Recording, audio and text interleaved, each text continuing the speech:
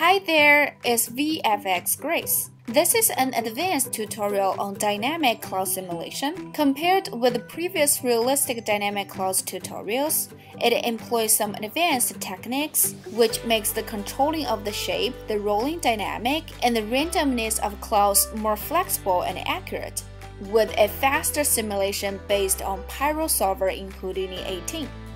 Firstly, we will analyze the reference to catch the rules and features of the light dynamic cumulus from the aspects of dissipation, gravity, expansion, rolling, turbulence, continue growing, etc., which greatly affect the realism of clouds. Then, we will create and adjust the volume source and build force fields to generate those features, thus to achieve the desired dynamic. Starting from scratch, I will walk you through every step to get the final dynamic. For those who have some basic knowledge about PyroSolver, this tutorial will definitely give you a more accurate and solid understanding of cloud simulation and dynamic control.